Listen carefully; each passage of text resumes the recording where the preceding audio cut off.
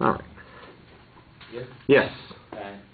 So for the most part, I mean, everybody has a favorite team in, in every sport, and me playing baseball, I have a favorite team in sports. But my favorite team in baseball is different from all the rest because it's the best team in baseball.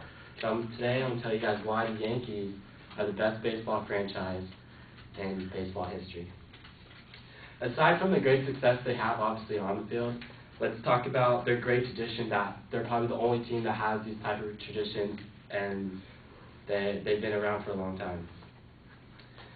Let's talk about the stadium. When you go to the stadium, it's obviously a big stature, and it's best in the bleachers.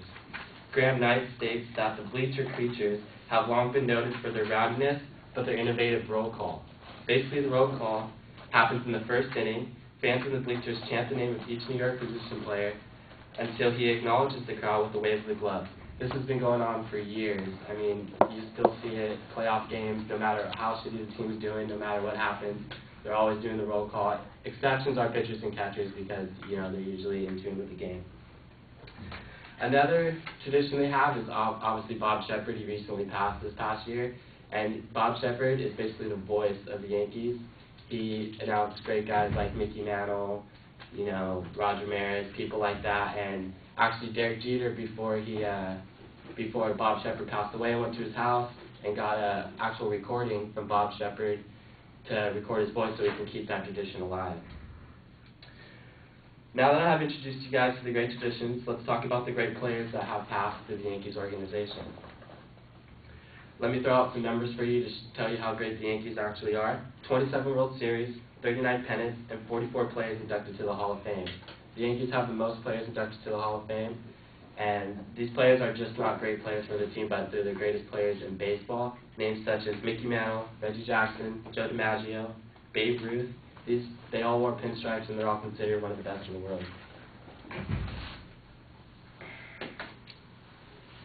The Yankees have the most retired numbers, and every time a player comes over, they basically can't have any of the numbers because all the greats have already retired their numbers. For an example, A-Rod came to the Yankees. He wore number three with the Rangers came to the Yankees, had to change his number to 13 because in the great tradition they retired the numbers and he respected that and he stopped wearing the number. The past years the Yankees have the Yankees have three of their four infielders last year win gold gloves and that hasn't happened in a while and that's another reason why the Yankees have great players. So the Yankees are also known for their money, but I think the money starts with the owner, and they also have one of the greatest owners in baseball. He recently passed as well this past year. Uh, he was a huge role in them being where they are today, being at the top, being the best in the business. Uh, the owner's name is named George Steinbrenner. He's said to be one of the most famous owners that have ever lived. Stein, who stressed the importance of the brand name Andrew, Andrew Machen notes, he understood the value of publicity, of creating a buzz of crowding stars, and he became a star himself. Baseball needed the Yankees to set the standard, and he did that. And Jeter, Jeter stated in an interview shortly after Steinbrenner had passed that Steinbrenner was more than just the owner, he was a friend. If you talk to any of the Yankee guys that played for him, even the older guys, they respect the owner and I don't think a lot of other players can say that about their owner. The Yankees are the best team in history. His accomplishments, along with old school traditions and the hard-nosed boss, sets them alone when talking about the greatest franchise of all time, the Bronx Bombers. That's it.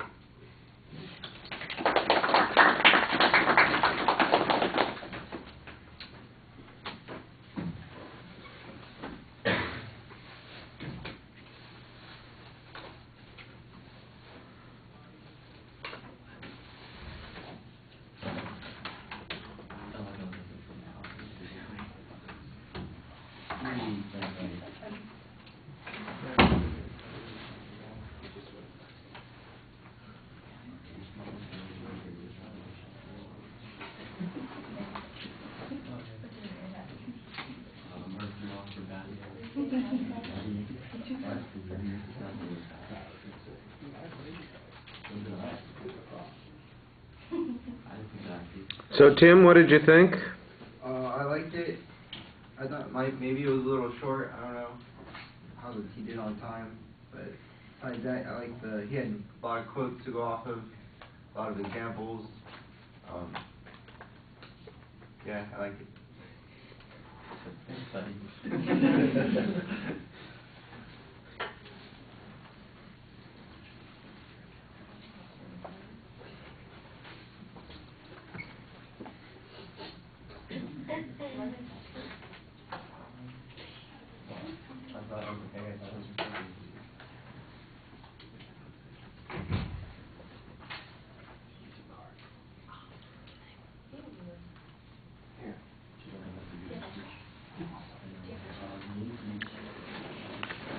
All right, Nolan, you've got a claim of fact that you're presenting here, or a claim of value. I guess if you're going to say that they're the best, that's uh, really a claim of value that you're going on with. I, the opening section is okay, but and and we know what your thesis is, but there's no setup of what the content's going to be. And although you do a little bit of internal signposting during the speech, the organization is problematic. Now, I think you've probably got a structure there, but it's hard to pick out as a casual listener. So you need to do more to make it clear to the audience how this is being put together. At the end of the speech, I, I'm, it basically finished, and I was just settling into listening to what you were talking about. It came pretty quickly. There's not really much of a summary about what your points were. You just kind of reminded us about their history, and then boom, uh, you were done. Uh, I thought you had a couple of interesting ideas for uh, establishing uh, a criteria for a value as to what makes a team the best, what makes them unique. And you and you mentioned, for instance, uh, the traditions and the history and the connection that the players have to that tradition and history. And I like that idea. W- what we need is a little bit of comparison that no other team has those kinds of things because the truth is that every team I'm sure has some kind of tradition and history. But why are the ones that you're talking about particularly unique or important? Why are they better than other um, traditions I think that that would be something that you could spend a little bit more time on I like the idea of the roll call and you talk about all the uh, numbers being retired and they face a little bit of a problem with that because they have so many retired numbers uh, so I thought that th- there was some uh, good development on that point. Outside of that, uh, it just was a little, like I said, underdeveloped. You're talking about the owner, and I think that's uh, interesting. Of course, uh, you had, I mean, the announcer's dead, the owner's dead. I mean, maybe we should rephrase this: the Yankees were the best team in baseball, but two out of the three things that make them the best are now gone. Man, that seems like a, a strange way to set up your speech on an argument like this. That's a little bit problematic. The presentation things are pretty solid.